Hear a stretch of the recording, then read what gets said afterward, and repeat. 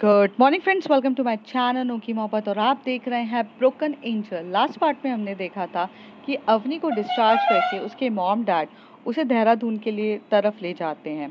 और वहाँ पर जब वो जा रही रहती है तो उसे कहीं ना कहीं ज़्यादा टेंशन नैना की रहती है, क्योंकि वो नैना को नहीं बता पा रही रहती है। जब वो अपने मॉम डैड से कहती है कि वो नैना को इन्फॉर्म कर दें, तब उसके मॉम डैड बोलते हैं कि नैना को कुछ भी नहीं बताना है, हम किसी से कुछ कांटेक्ट नहीं रखना चाहते हैं। हम ये चाहते हैं कि तुम अपनी पास की चीज़ों को भूलो और नए सिरे से अपनी ज़िंदगी स्टार्ट करो। माँ बाप का भी सोचना कभी गलत नहीं होता। दूसरी तरफ़ जो नैना रहती है, जब वो जाती है हॉस्पिटल में तो उसे वहाँ पर अवनी का पता चलता है, वो डिस्चार्ज हो गई है। फिर वो अवनी के घर जाती है, वहाँ जाकर देखती है तो वहाँ पर भी उसे नहीं मिलती है अवनी। फिर कहीं ना कहीं नैना बहुत ज़्यादा डिस्टर्ब हो जाती है तो वो पहले सबसे पहले जाती है अनु के पास। अब आगे। अनु, सुनना यार, नैना नैना घर पर भी नहीं है और हॉस्पिटल से भी वो डिस्चार्ज हो गई है। कहाँ चली गई है वो? तो अनु बोलते हैं यार इस बारे में तो मुझे भी कुछ आइडिया नहीं है। आ, हो सकता है कि वो लोग यहाँ के बदले कोई अपने रिलेटिव्स के वहाँ पर गए हो। तो कहती हाँ ये भी हो सकता है क्योंकि शायद इन्वेस्टिगेशन के लिए और उनको लगा हो कि सेफ़ साइड से बचने के लिए आ, इन सब चीज़ों से कुछ के लिए तो मुझे भी ऐसी वाली फीलिंग आ रही है अनु। हो सकता है वो कहीं आ गए लेकिन मुझे बताया ही नहीं है। तो अनु कहती, तूने अवनी को फ़ोन लगाया तो कहती हाँ I called her so many times but she didn't pick up my phone तो कहती है didn't pick up your phone और इट स्विच ऑफ़ तो कहती है यार आउट ऑफ़ नेटवर्क एरिया बता रहा था तो मुझे ऐसा लगा कि स्विच ऑफ़ तो नहीं होगा तो कह सकती, हो सकता है स्विच ऑफ़ भी हो. तो कहती है यार, पर लग नहीं रहा। तो अंकल और आंटी को फ़ोन लगा तो अनु और नैना, वहाँ बैठ के अंकल आंटी को भी काफ़ी कॉल्स करते हैं। बट कोई भी कॉल्स नहीं लग रहा रहता है। वो काफ़ी ज़्यादा ट्राई कर रहे रहते हैं, नहीं लगता है। अब यहाँ पे जो अनु रहती है, उसका दिमाग थोड़ा सा ज़्यादा चलता है। और वो एकदम से नैना के कंधे पे हाथ रख कर बोलती है, मुझे लग रहा है वो ये सिटी छोड़कर चले गए हैं। आई थिंक वो सबसे दूर चले गए हैं। तो नैना एकदम से पैनिक होके बोलती ऐसे कैसे दूर चले गए हैं? अरे, तुझे पता है ना कि मैं अवनी को नहीं छोड़ सकती हूँ, अवनी मुझे नहीं छोड़ सकती है। तू तो जानती है ना मेरे लिए अवनी कितनी इम्पोर्टेंट है और अवनी ऐसे कैसे मुझे छोड़ सकती है? वो ऐसे कैसे जा सकती है यार? नहीं नहीं, ये बिल्कुल सही नहीं है। अनु तो तभी अनु कहती है, नैना पैनिक होना बंद कर। तेरे पैनिक होने से सोल्यूशन नहीं मिलेगा। हो सकता है वो अपने किसी रिलेटिव्स के वहाँ पर गए हों। तो और अगर फ़ोन स्विच ऑफ़ है तीनों के तो ये कोइंसिडेंस नहीं हो सकता है।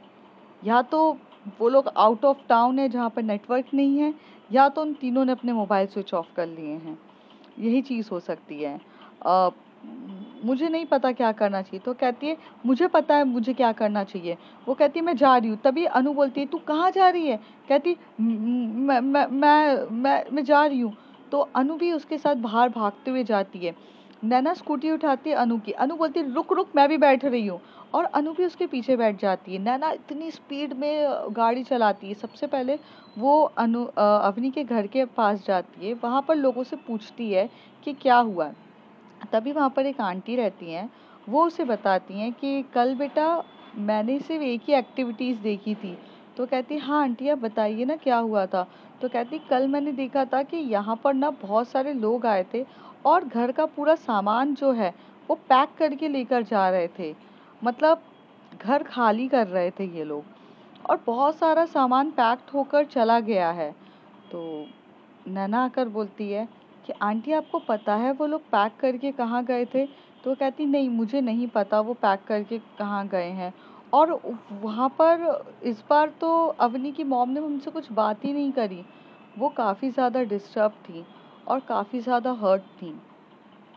तो अनु पूछती हैं हाँ वो वो होंगी। कहती उस चीज़ से नहीं थी। यहाँ की कई औरतों ने, यहाँ की कई नेबरहुड ने उन्हें ना बहुत गंदे तरीके से उनकी बेटी के लिए टॉन्ट मारा। मैं समझ सकती हूँ उनकी बेटी के साथ जो हुआ, वो उनकी गलती नहीं थी और किसी की भी गलती नहीं थी। पर किस तरीके से उसी छोटी सी बात का बतंगड़ बनाना और ये करना, ये तो काफ़ी ज़्यादा गलत था। इस वजह से वो डिसहार्टेड होके शायद से चली गई हैं। अनु बोलती है, आंटी, आपके पास कोई भी कॉन्टैक्ट नंबर है जिससे हम पता कर सकें? तो कहती कुछ भी नहीं। यहाँ पर नैना बहुत पैनिक हो जाती है। नैना फिर से भटाक से बैठती है और स्कूटी पे बैठती है। तभी अनु बोलती है, रुक रुक, अब कहाँ जा रही है तू? तो कहती है, मैं जा रही हूँ। फिर यहाँ से वो जाती है बस स्टैंड पे। वो बस स्टैंड के वहाँ पर जाती है काफ़ी ज़्यादा बस स्टैंड पे ढूँढने लगती है कि कुछ तो उसे क्लूज़ मिले, कुछ तो रिजर्वेशंस हुए होंगे। कहीं ना कहीं जाने के लिए होगा, वो रिजर्वेशन डिपार्टमेंट में जाती है, वहाँ पर पूछती है कि कोई आज के लिए कोई भी इस नाम से कुछ हुआ है क्या? बहुत ज़्यादा पैनिक होकर वो पूछ रही थी। पर वहाँ के सारे ऑफिसर्स उसको सिर्फ़ एक ही जवाब देते हैं कि हम पर्सनल इन्फॉर्मेशन किसी भी कस्टमर के बारे में आपको डिस्क्लोज़ नहीं कर सकते हैं और आपके पास वो अथॉरिटी भी नहीं है जिससे आप हमारे बारे में ये पता कर सकें। वो बहुत ज़्यादा डिस्टर्ब हो जाती है। उसे समझ में नहीं आ रहता है वो क्या करे। फिर बहुत पागलों की तरह बस स्टैंड, ट्रेन में जब ढूंढते ढूंढते शाम के चार से पाँच बज जाते, वो थक जाती है। तब उसको चक्कर आने लग जाते हैं और वो वहीं पर गिर जाती है। तभी अनु उसे उठाती है और बोलती है, देख, सुबह से तूने कुछ खाया नहीं है और तूने पानी तक भी नहीं पिया है। तुझे ड्रेन आउट तो होना ही था ना। ले कोकोनट वाटर है, इसे पी ले। थोड़ा बेटर फील होगा। तो कहती नहीं, मुझे बेटर फील तब तब नहीं होगा जब तक मैं पता नहीं कर लेती हूँ।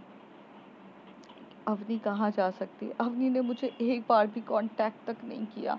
अवनी मुझे जाते टाइम मिलकर बात करके तो जाती ना। उसे नहीं समझ में आया क्या कि मैं उसके लिए इतनी पराई हो गई क्या? हाँ मैंने एक गलती करी। मैंने मतलब मैंने बिना सोचे समझे वो मीडिया पे उसे जस्टिस दिलाने के लिए ये सब चीज़ें कर ली और आ, मैं समझ सकती हूँ मेरी एक गलती की सज़ा वो इतनी बड़ी मुझे देगी। क्या मुझसे इतना दूर चली जाएगी?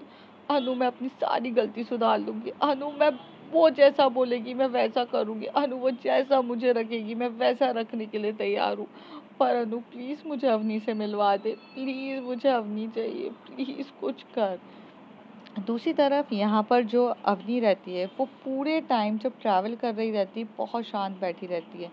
उसके मॉम डैड को भी ये बात अच्छी नहीं लगती है। जब वो उसे बोलते हैं कुछ खाने के लिए तो वो कुछ भी नहीं खाती है। पूरे टाइम चुप मुँह से बैठी रहती है। उसकी आँखों में से हल्के हल्के आँसू गिर रहे रहते हैं। बहुत लाइट उसकी आँखों में से आँसू गिर रहे रहते हैं, जिससे उसके मॉम एंड डैड के पता नहीं कर पाते। अवनी थोड़े टाइम तक शांत रहती है। अवनी बस किसी भी हालत में नैना को कांटेक्ट करना चाहती थी। पर जैसे ही उसको मौका मिलता है फ़ोन का तो वो फ़ोन लेती है। और फ़ोन लेकर कॉल करने ही जा रही रहती तभी उसकी मॉम एकदम से हाथ पकड़ लेती है और कहती है, किसको कॉल कर रही हो? तो अवनी बोलती है, मॉम, मुझे एक लास्ट कॉल करना है। आप जैसा बोलोगे, मैं वैसा करने के लिए तैयार हूँ। पर प्लीज़ मुझे एक लास्ट कॉल करने दीजिए। तो कहती है, नहीं।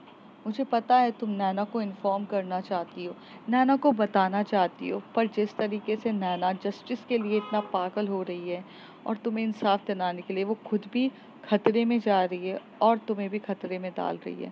तुम, तुम्हें भले मैं बेकार लग रही होंगी, तुम्हें भले मैं विरन लग रही होंगी, पर अपनी सच बात तो ये है कि तुम दोनों मेरे लिए बहुत करीब बेटियाँ हो।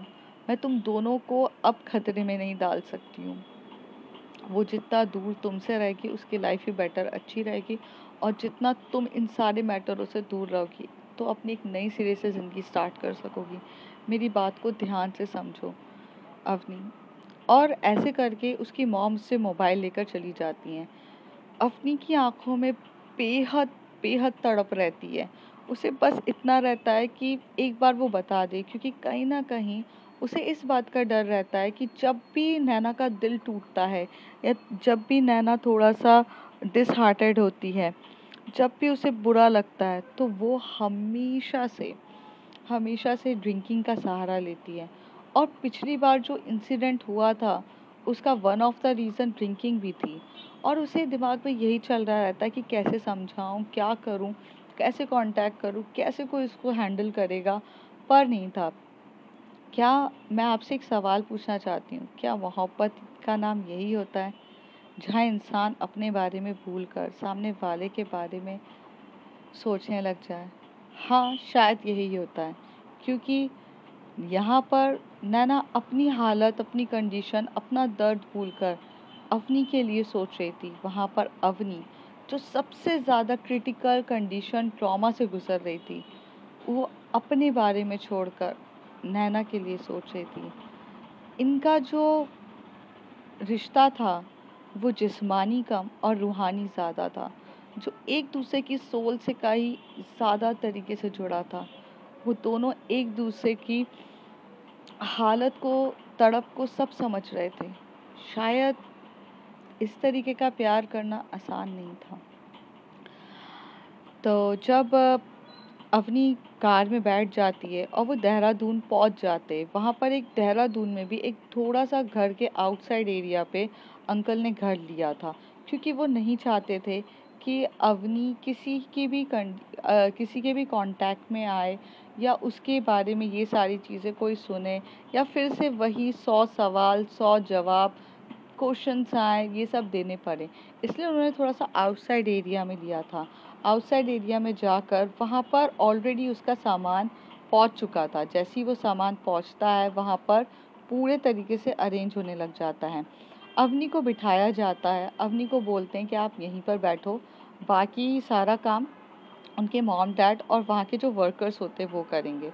अवनी बस बैठे बैठे सोच ही रही रहती है कि क्या करूँ क्या करूँ। और जब उसका ज़्यादा स्ट्रेस लेवल बढ़ जाता है तो उसकी तबीयत अपने आप ख़राब हो जाती है। और वो बेहोश होकर गिर जाती है। जैसे वो बेहोश होती है तो अवनी की जो मॉम रहती हैं, वो पैनिक हो जाती हैं और बोलती हैं कि, सुनो सुनो, सुनिए सुनिए अवनी के पापा, जल्दी आइए, अवनी बेहोश हो गई है।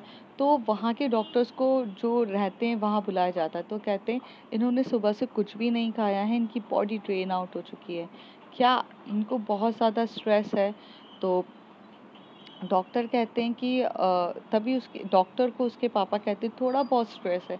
तो कहते हैं प्लीज़ इनका स्ट्रेस लेवल कुछ ज़्यादा हाई है। ऐसा कोई काम ना करिए जिससे इनकी स्ट्रेस हो जाए। और अगर ऐसा रहा तो कि ज़्यादा बीमार पड़ जाएँगी और बहुत ज़्यादा हालत ख़राब हो जाएगी। तो आपसे सिर्फ़ एक ही रिक्वेस्ट है मेरी कि आप उसका ध्यान रखिए। तो अवनी जो रहती है, चुपचाप वहाँ चली जाती है। दूसरी तरफ़ मतलब चुपचाप उसको रूम की तरफ़ रख देते हैं। दूसरी तरफ़ जो नैना रहती है, वो भी अपनी हालत पूरी बिगाड़ चुकी रहती है। उसे कोई भी नहीं होती है, वो बहुत पैनिक होती है। तब एकदम से वो, फिर से वो आंटी के पास जाती है और आंटी से बोलती है, आंटी, कुछ तो ऐसा क्लू होगा जो मुझे अवनी तक पहुँचाने में आपकी मदद करेगी। प्लीज़ आप मुझे बताओ। तो वो कहती हैं, ये जो ये जो लोडिंग और अनलोडिंग्स के जो लोग थे, वो रिहान कंपनी का था। मतलब मूवर्स जो पैकेज एंड मूवर्स कंपनी है, वो रिहान कंपनी थी। शायद, बस इतना मुझे पता है। तो अनु बोलती है ठीक है ठीक है थैंक यू आंटी। अनु हाथ पकड़ती है नैना का और उसे कुर्स उसे एक्टिवा में बिठाती है और ये लोग तो भागते हैं। ये लोग भागते हैं रिहान में। रिहान जो कंपनी रहती है, उसके पास जाकर पूरी बात करते हैं और उनसे पूछते हैं कि आप हमें बस ये बताइए, तब वहाँ के लोग भी उसे कुछ भी चीज़ डिस्क्लोज नहीं करते हैं। उनकी भी पॉलिसी रहती है कि उनके क्लाइंट के बारे में कि उन्होंने अपना सामान कहाँ से कहाँ शिफ्ट किया है, कहाँ गए हैं, कोई कुछ नहीं बता रहा रहता है। बहुत वो कोशिश करती है, बहुत ज़्यादा कोशिश करती है कि पता चले पता चले, पर कुछ हद तक किसी भी एंगल में कुछ पता ही नहीं चल रहा रहता है। वो पूरा दिन इधर उधर जाती है, बहुत कर, कोशिश करती है। ऐसा लग रहा था कि नैना भीख मांग रही थी सबसे कि प्लीज़ उसे अवनी से मिलने के लिए कोई ज़रिया मिल जाए। दूसरी तरफ़ अवनी, जो नैना के न मिलने पर अंदर ही अंदर तड़प रही थी, उसकी टेंशन के मारे उसकी हालत ख़राब हो रही थी। ये दोनों एक दूसरे से अलग होकर भी एक दूसरे के बारे में ही सोचे जा रहे थे। बहुत ज़्यादा हालत ख़राब हो चुकी थी। ये दिन तो उसी तरीके से गुजर जाता है। जब दूसरे दिन नैना होश में आती है तो नैना तो आजकल अनु के घर पर ही रह रही थी, पर नैना को अब ये रियलाइज़ होता है कि उसे अपने खुद के घर पे जाना चाहिए। तो वो जैसे ही अपने खुद के घर पर जाती है तो वहाँ पर जो नैना की मॉम रहती हैं, वो उसके साथ बहुत गंदा बिहेवियर करती हैं। वो उसे कहती हैं कि ये क्या है? क्या बदतमीजी है? जब तुम घर छोड़ के चली जाती हो, अब अब तुम हमारे घर पर आ गई हो। ओ, तुम्हारी सो कॉल्ड फ्रेंड जिसके लिए तुम, हमने अपने भाई को तक झूठा ठहरा दिया, जिसके लिए तुमने अपने भाई को बहुत कुछ सुनाया।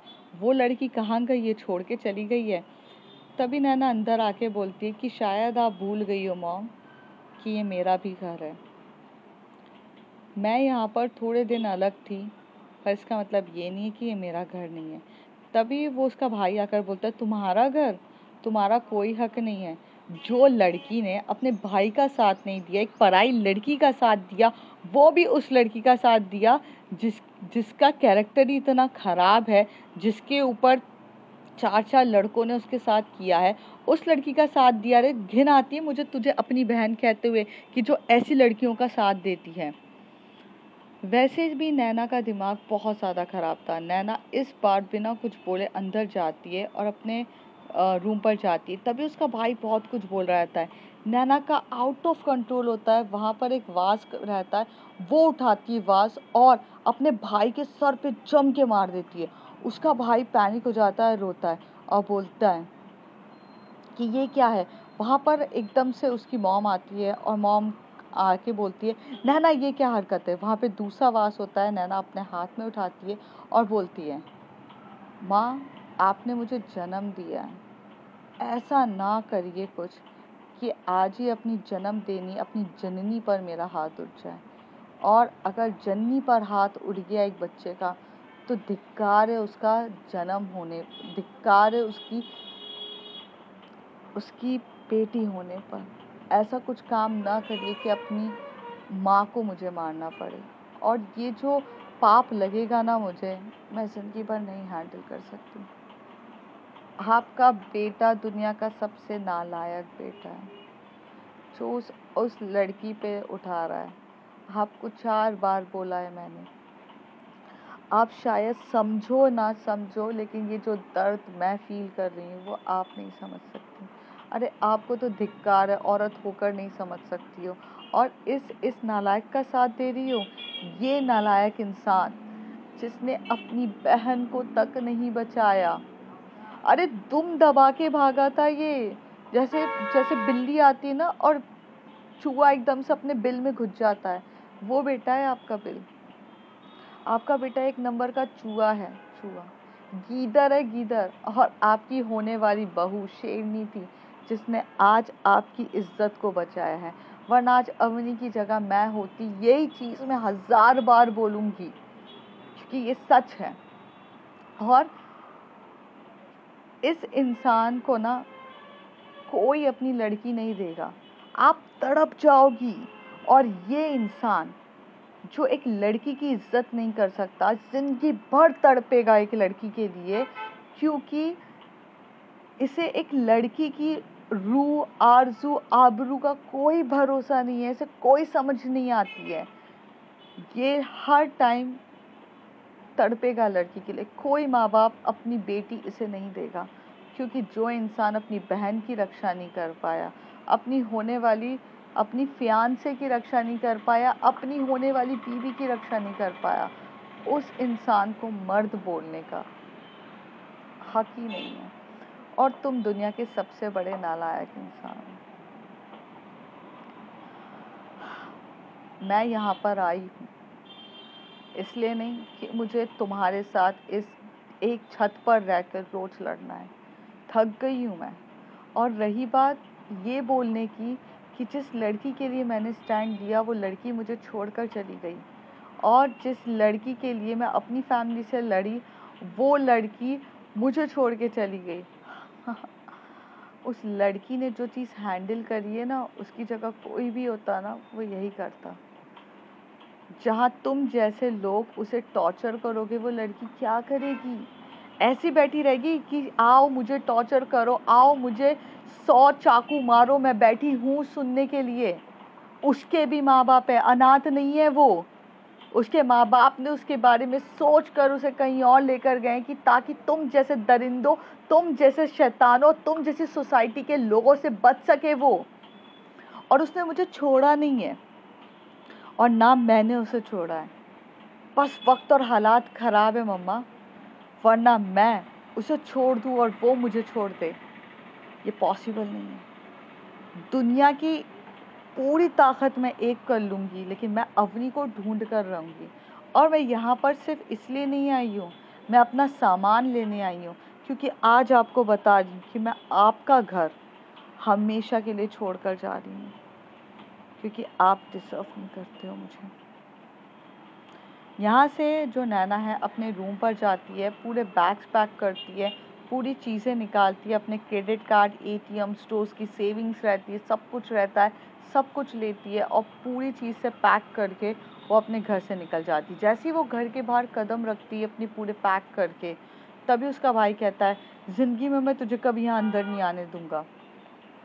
और माँ, ये कभी अब हमारे घर में अंदर नहीं आ सकती। जिस लड़की के लिए से अपने भाई से लड़ी है, मैं इसे कभी अंदर नहीं आने दूँगा।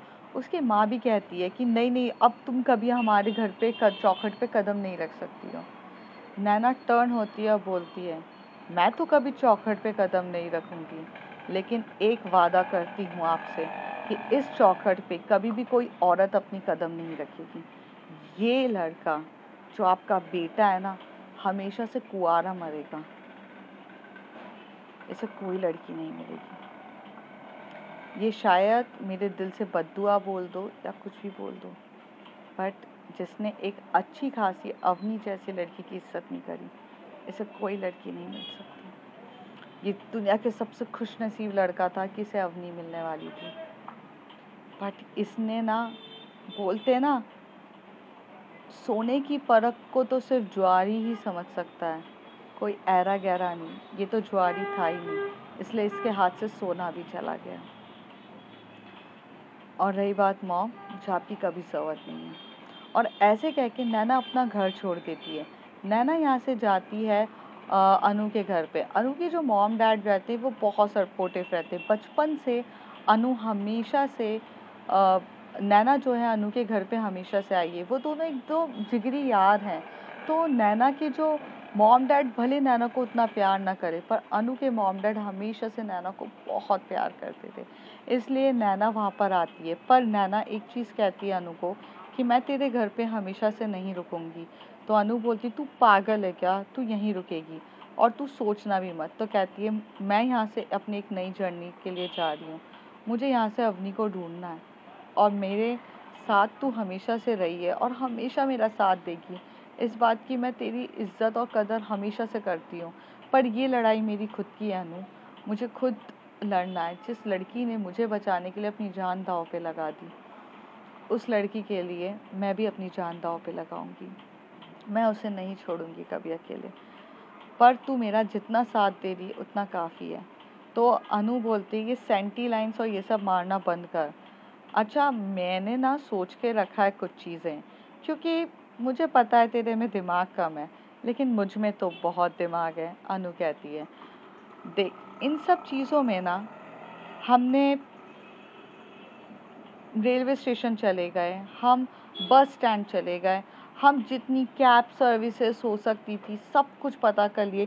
इवन हमने रिहान कंपनी में जाके मूवर्स पैकेजेस एंड मूवर्स से भी जाके सब कुछ पता किया।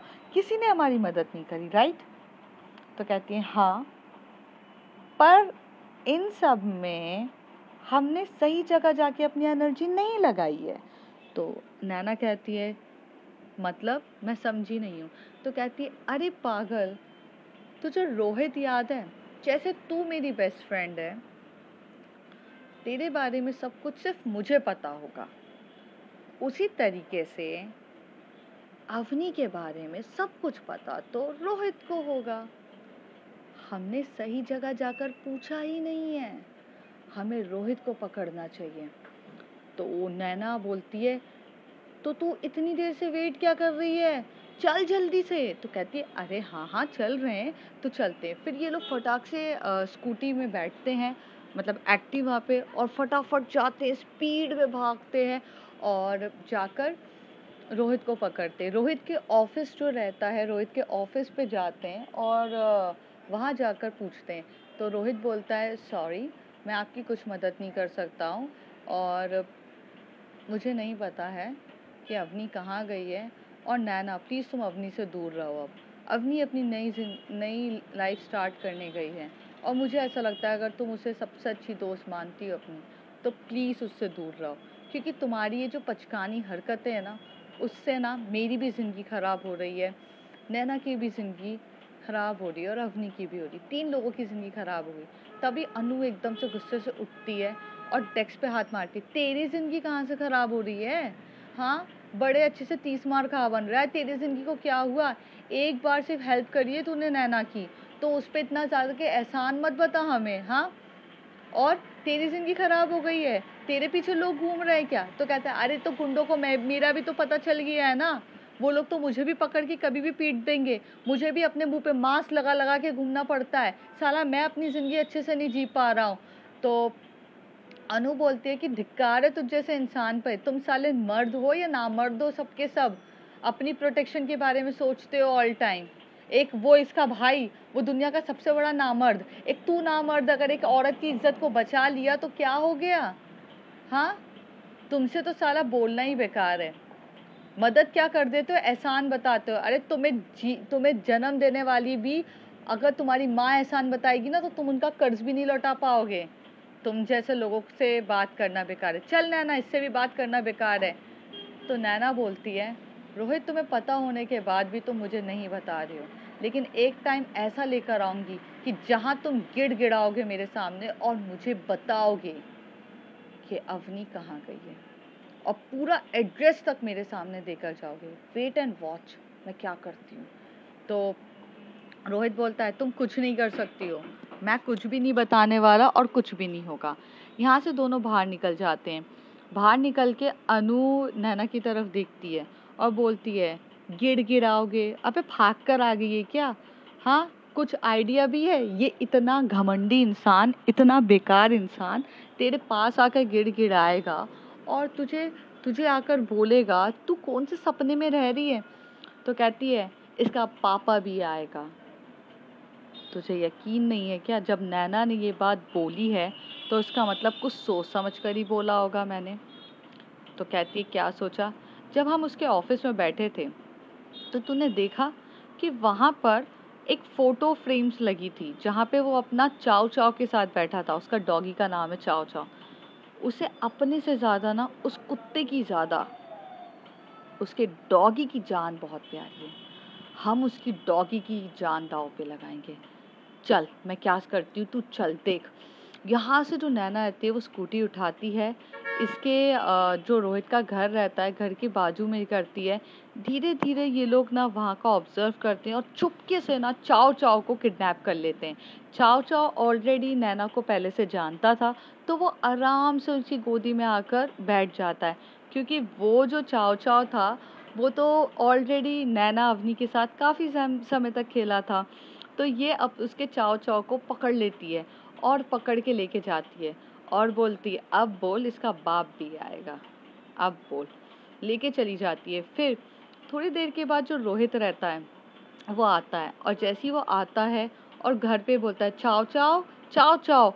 फिर वो बहुत ढूंढता है, उसे चाव चाव नहीं मिलती। वो मेट से पूछता है चाव चाव कहाँ है? वो इधर घूमता है, उधर घूमता है, उसे चाव चाव मिलती नहीं है। तभी थोड़ी देर के बाद उसे एक फ़ोन कॉल आता है जिसमें वो रहता है नैना का। नैना बोलती है, क्या हो गया? तुम्हारे घर में कुछ चीज़ मिसिंग है क्या? तो कहता है कि हाँ मिसिंग तो है, पर तुम्हें कैसे पता? तुम क्या बोले जा रही हो? तुमने चाव चाव को उठाया है? तो कहती है, ओ हाँ जी, चाव चाव को तो उठाया है और चाव चाव को उठाने का रीज़न भी है मेरे पास। लेकिन मेरे ख्याल से तुम्हें चाव चाव से कौन सा प्यार है? अगर तुम्हें अपने चाव चाव से प्यार है तो मुझे जल्दी से बता दो कि अवनी कहाँ पर है, क्या कर रही है। मुझे बता दो और मेरे ख्याल से तुम मुझे बता दोगे, क्योंकि कौन चाव चाव की ज़िंदगी को रिक्स पे लेगा? और बाय चांस अगर चाव चाव को कुछ हो गया तो उसकी जिम्मेदार तुम होगे। अरे अनु अनु, आराम से आराम से कर, आराम से कर। चाव चाव खेल रहा है ना। अरे अरे इसको दबा मत, अरे मत दबा। अच्छा तुम्हें यकीन नहीं हो रहा है ना? रुको रुको, मैं उसकी आवाज़ सुनाती हूँ। तब चाव चाव भौंकता है बहुत जम जम के। अच्छा रुको रुको, एक काम करो यार, तुम वीडियो कॉल क्यों नहीं करते हो? दो मिनट रुको। तो यहाँ से जो नैना है फ़ोन कट करती है, उसे वीडियो कॉल करती है। वीडियो कॉल करके आराम से उसे चाव चाव दिखाती है, जिसे जो अनु की गोदी में रहता है और अनु के हाथ में एक नाइफ़ रहती है। वो नाइफ आराम से ऐसे करते करते बोलती है कि, नहीं हुआ तो ये तो चला जाएगा। और इस तरीके से जो रोहित रहता है, वो काफ़ी ज़्यादा डर चुका रहता है। रोहित को समझ में नहीं आ रहा रहता। रोहित बोलता है, प्लीज़ प्लीज़ मेरे चाव चाव को कुछ मत करो। Please I I beg you I beg you यार प्लीज़ तो कहता है चाव चाव चाहिए ना? तो कहता है हाँ मैं उससे बहुत प्यार करता हूँ। तो वहीं पे नैना कहती है, मैं अवनी से बहुत प्यार करती हूँ। जिस तरीके से तुम्हें प्यार है अपने इस चाव चाव से, मुझे प्यार है अवनी से। तो अगर तुम इसे बचाना चाहते हो तो आ जाओ। तो अब फ्रेंड्स देखते हैं कि रोहित से कैसे निकलवाएगी। मतलब अब तो आपको समझ में आ ही गया होगा कि वो निकलवा लेगी। लेकिन अब देखते हैं आगे क्या होता है। आप सब कुछ जानेंगे अगले कुछ एपिसोड्स में। तब तक के लिए bye bye take care if you like my story like share and subscribe